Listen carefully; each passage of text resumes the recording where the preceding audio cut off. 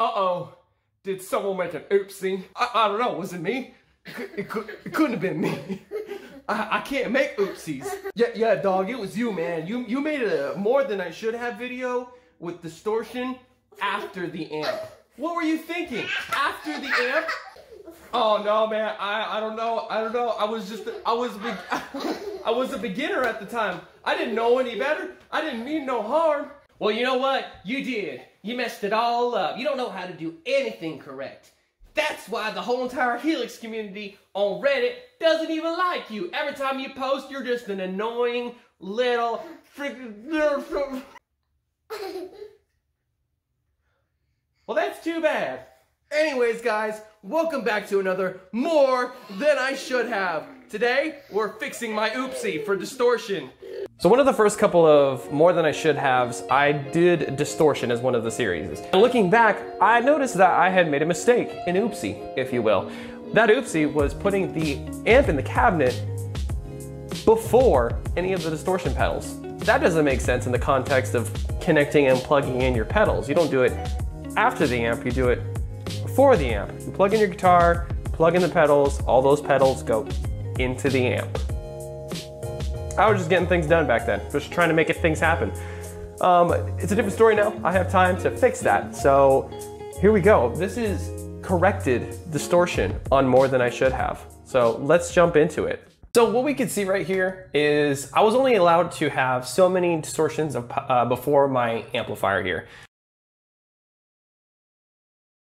which I'm using the archetype, archetype, archetype, I can't talk, archetype clean with the uh, 4x12 Cali V30 on the Line 6 Helix LT. Okay guys, so I have my setup here basically with, uh, see here, eight on top, two in the middle, and seven on the bottom for the distortions. This was as many as I can add on there. And would you look at that?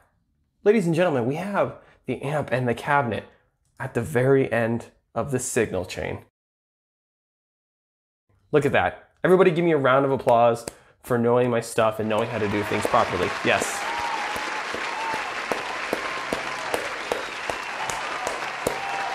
Thank you. Um, so what we're gonna do now is we're gonna start adding these things one by one, but first let's listen how it sounds with just the amp.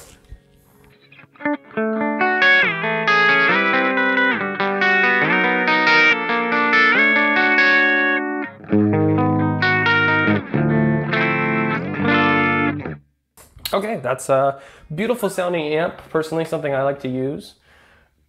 And now let's start off with the first one. So the first one is a Kinky Boost in a distortion. Now it's not necessarily a distortion pedal, it's categorized underneath there. I've literally added as many as I can throughout here. So this is what it sounds like.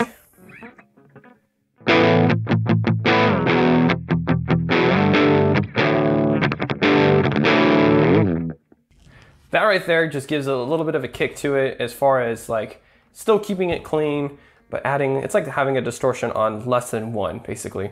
But it's a nice little pair when you put that with the distortion pedal in real life because it just adds that little clean boost to your distortion pedal that makes it more pronounced for your playing. On to adding the whole entire row. Screw it, let's do it. Let's jump into it. Let's just add it all in there. We're gonna start hearing some feedback, so get your ears ready. All right, here we go.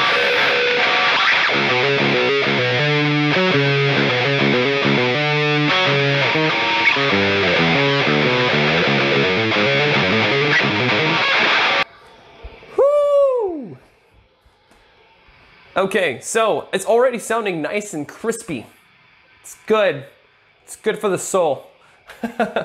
um, but let's move on. We have on the second row only two of them. This shouldn't make a dramatic change, but who knows? We're all here just to experiment. So now we have a total of 10 distortion pedals.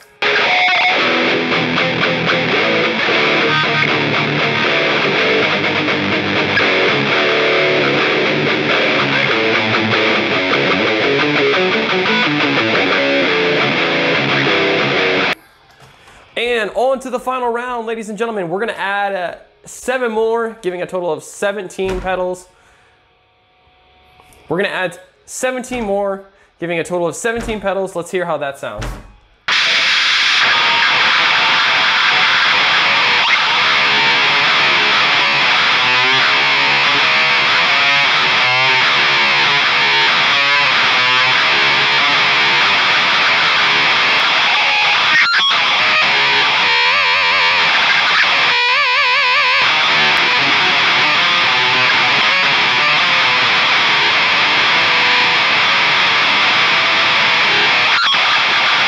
Well, ladies and gentlemen, that's all 17 distortion pedals on one signal chain.